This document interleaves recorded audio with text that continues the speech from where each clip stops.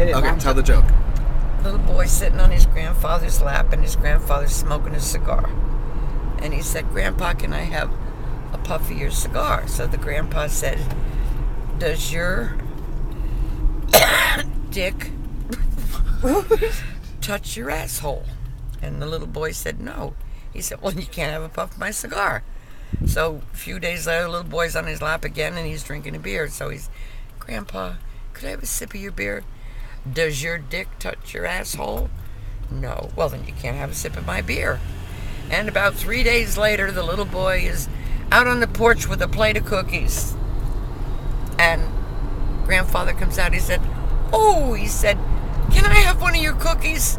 He looked at his grandfather. He said, Does your dick, dick touch your asshole? Grandfather says, Yes. He said, Well, go fuck yourself. Grandma made this for me.